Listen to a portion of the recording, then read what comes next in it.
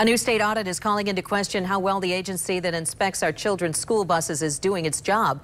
24-hour News 8's Barton Deiters has been digging into the report and getting answers from officials. Barton?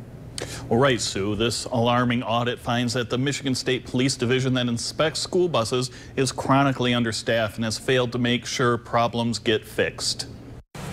The Michigan Office of the Auditor General looked at the MSP's Commercial Vehicle Enforcement Division, which keeps tabs on the condition of more than 17,000 school buses in the state.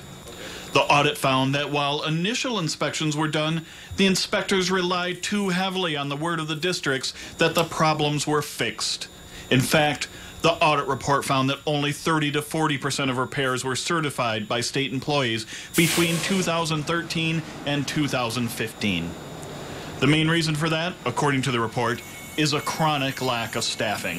For fiscal year 2011, the school bus program was cut by a million dollars, went from 1.4 down to 400,000. Our staffing levels dropped from 12 to 4. We dug deeper through the inspection reports and found that larger districts in West Michigan, Grand Rapids, Rockford, Grandville, have the best records.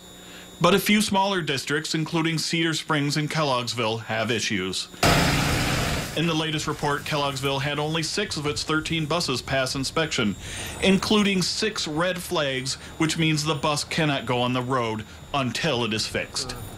I talked to a Kelloggsville assistant superintendent who was critical of the inspection process, saying it was just too picky. She said that as soon as problems were identified, they were fixed. Randy Coplin of the inspection division says the funding has been restored.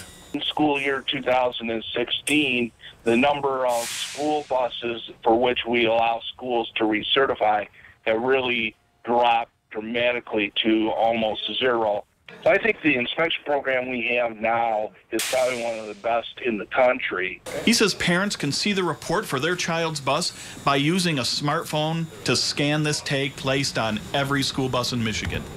The black, typical black and yellow school bus is the safest form of transportation to and from school.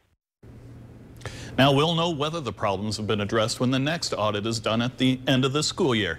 In the meantime, you can find the inspection reports online, and we have a link to those reports at woodtv.com. In studio, Barton Deiters, 24-hour News 8.